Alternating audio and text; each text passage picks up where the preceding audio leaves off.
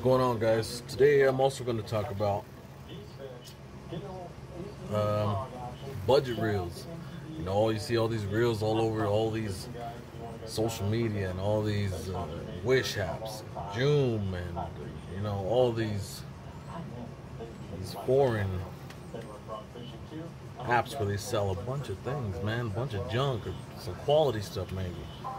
Um, so yeah, we're gonna talk budget reels, the ones that come from across seas, China, Japan, wherever they come from, um, American, um, but budget stuff. We're gonna talk about these now. You might be asking why I got these overseas reels that I got from I think Wish and uh, Joom. That's another Wish-like app. You know, these are what I started my son off on. A couple few years ago, maybe, maybe longer. You know, Lang. I think that's how you say it. That's this one here. I mean, it's it's not bad looking. I mean, they got the right idea in mind. I mean, maybe one day they could be something greater. You know what I mean? But you know, they're not too bad. They make a little ruckus when you reel them, and this one, actually actually casts pretty well. But uh, reason why I'm touching base on budget reels. Let's face it, guys. We live in a time where money's hard to come by. Most of us, you know. So uh, sometimes we got to start at the bottom to get to somewhere better down the road.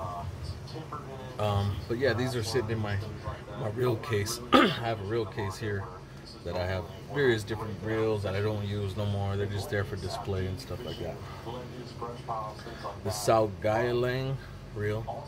I mean, look at this thing. I forget what this one is called. It doesn't have a name.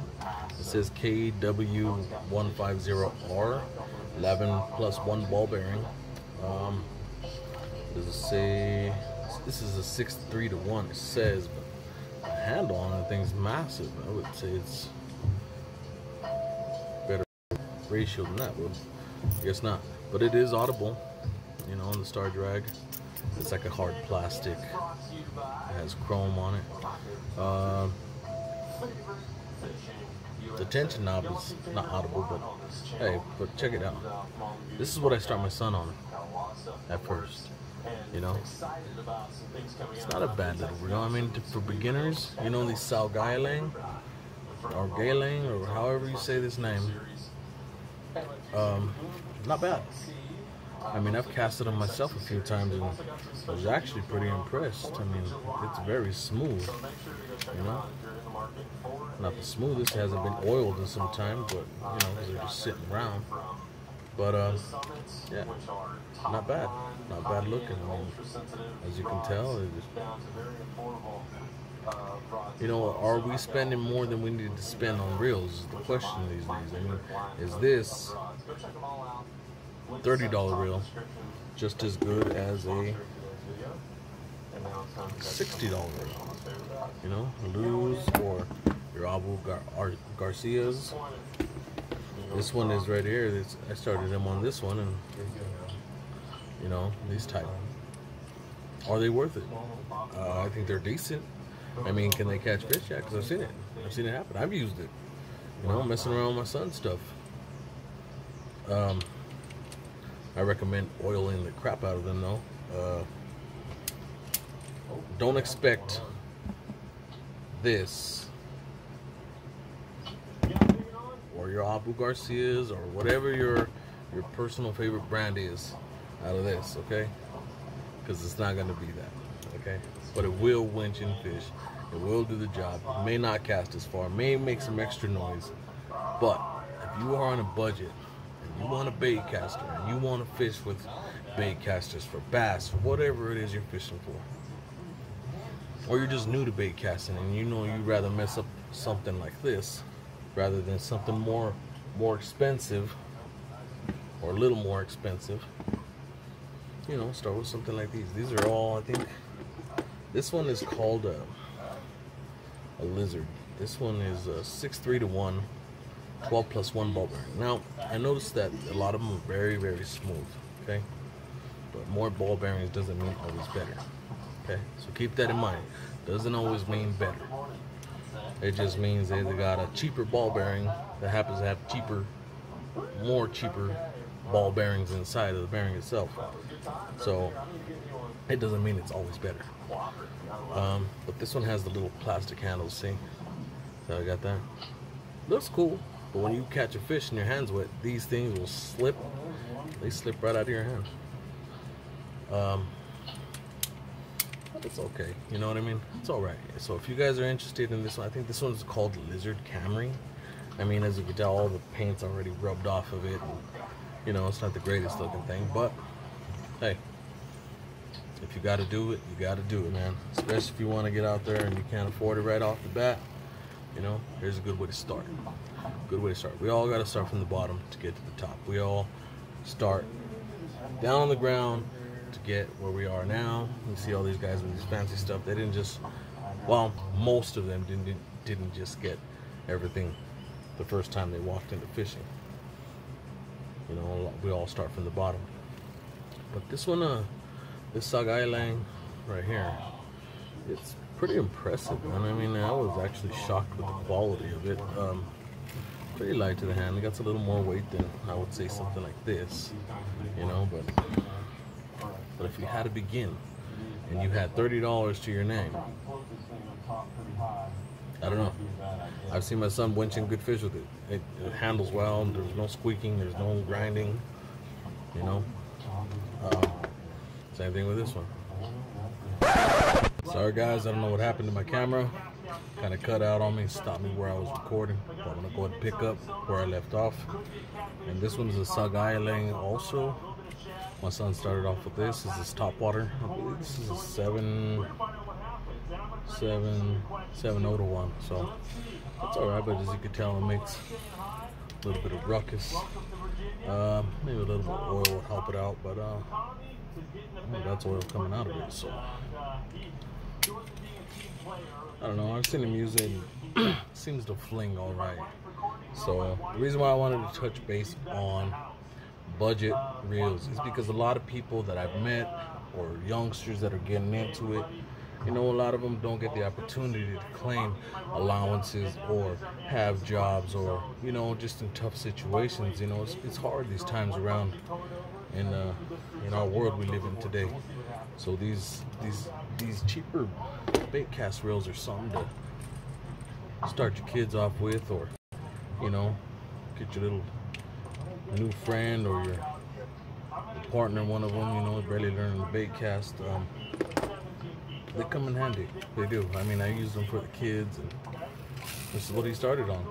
And he's mastered that, and he's gone on to his his better setups that he has over there alongside mine. You know, but I keep these as a reminder as, you know, we all don't have the opportunities to go up to your your higher end stuff right off the bat, you know. We gotta work our way up, build ourselves and save up to get what we want. But will this work? Absolutely. You know, how long it holds up, I don't know. But we've had them a few years and I mean, we really don't use them anymore, of course. We keep them in the, the reel box with the light on and all. It's just a, they're just there to look nice, I guess. But, um, yeah.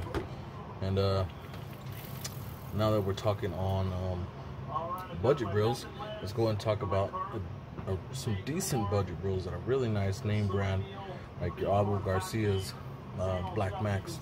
Now you're probably wondering how come mine doesn't have the red accents like the other Black Maxes. Well, I had one uh, Silver Max. Some of the parts fell off, lost the, the lid there to the spool, and so I just saved the spool, saved the handle, and add the silver accents. So now, you know, and I added the clicker to the to the drag wheel, of course. I just like that. So this is my souped up Black Max edition here. But uh, amazing reel. I mean, for the price that you're paying for it, guys, you gotta understand. I think when we bought this the first time around, me and my wife, because she also uses uh, bait cast reels when we go bass fishing and what whatnot. Um, this was her first reel, and still to this day, she still has me get, keep it cleaned up and oiled up and ready to go. It's one of her favorites, and uh, this thing works well. It's very uh, smooth, light, compactable, definitely compactable. Fits in the hand nice, very smooth. It's only a six to four, I believe, six four to one, and five bearing system.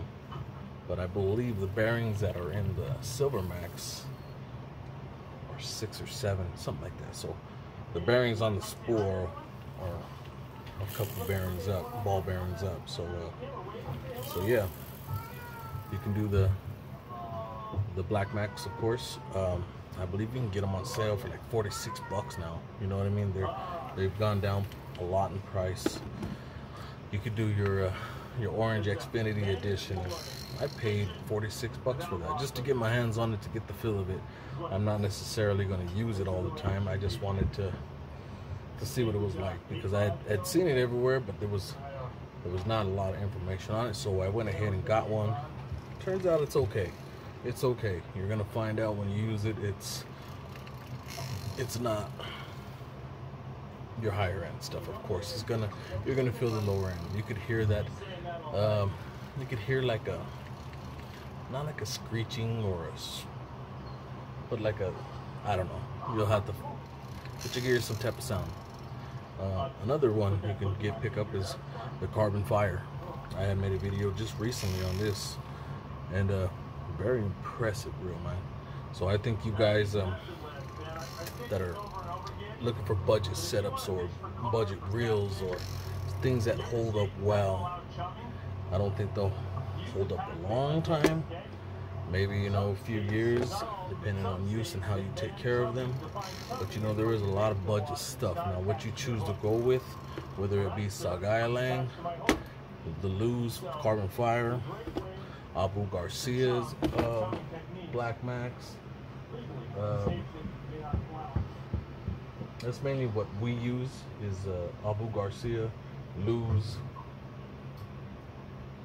and I think that's pretty much all we really use, me and my wife. Oh, and she uses a a reel called Fish Drops. It's a uh, 17 to 1, 17 plus 1 ball bearing and I believe it's a seven one to one. The reel's incredible. It's incredibly smooth. It's held up over time. She uses it every time she goes fishing. Um, it's pulled in fish, handles well, it's powerful, cast amazing. So you know there are different options out there. It's just going to be based on your personal preference and what you're not too proud to, to use. You know, a lot of people saying, I've met a lot of people down throughout the years, no, I won't use that. I just, I stick to this because this and this and this. Everyone has personal preference. But never be too proud to try something new or to start somewhere new, but start off at the bottom. You know, start off at the bottom, work your way up higher until you find what you like. Of course, you could say, well, you're going to Lew's.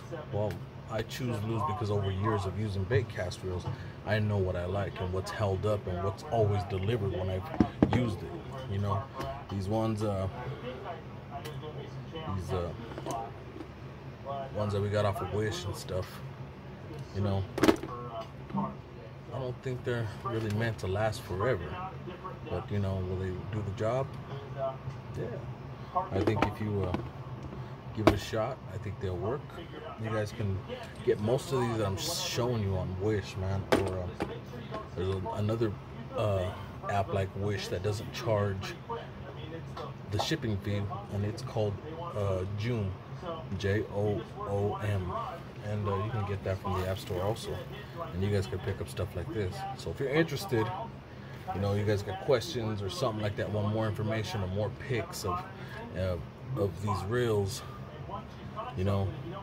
Um, let me know. I'll let you guys know. You know, is this something I recommend? Of course. You know, would I use it? When I was younger, absolutely. Would I use it now? No, because I have my setups that I like to use now, and I know what I want. You know, but as a youngster, I would have loved to have had these when when we were kids. You know, we used to have stuff like this. You know, this was everything. This was every kind of bait reel. No matter what it was, we used it. But um, a lot of things have changed since then. I've got my own house, I've got my own cars, I've got my own bills, I've got my own job, I pay my own everything. So, uh, so I've moved up. You know what I mean? I like my Lew's, my Abu Garcias, or my mains at the, at the time of now. But uh, yeah. So if you guys have any other questions about these reels, I have some other ones I think. Check this one out. I've had this for years. This is Rhino. Look how massive this thing is. I just keep it as a reminder, man, you know, of all the times we've been through and how much the reels and the looks of reels have changed compared to the sizes. You know what I mean? Look at that. So, um, so yeah, you know, I just wanted to touch base with you guys because I know there's a lot of youngsters out there that are confused in the fishing world, trying to be like, well, do I, I, I gotta have this, I gotta have this. No, you don't. Start off small. Start off at the bottom. Gain yourself uh, some stability in life, and then you can move up from there. You know what I mean? So uh, yeah, you guys can check these out. Wish has them. Amazon has them. Um, they're everywhere. They're everywhere. You know, the, these, the fishing world has blown up worldwide, and it's everywhere. So all you got to do is look, take a glance at the Joom, Wish. There's another one called Bova. I think it's B O V A. That's another one you can get a lot of these reels from. eBay, uh, Amazon, tons of stuff like that. And probably in the near future, once we get some more build up, you know, we get some more subscribers, we're gonna do a little thing, and I probably will end up getting rid of these, or a couple of them or something, you know, just to give them away. Most likely the youngsters out there, and get you guys on some bait cast gear. So if there's anything I can help you with, any concerns, any interests, um, get at me, guys. You know, like, subscribe, comment, any interests. Uh, you can contact me anytime. I'd love, I'd love to teach. Would love to talk with you. Thanks for everything you guys have shown me throughout the time of being on YouTube. You know, and I feel like maybe I can contribute something back for the world of YouTube.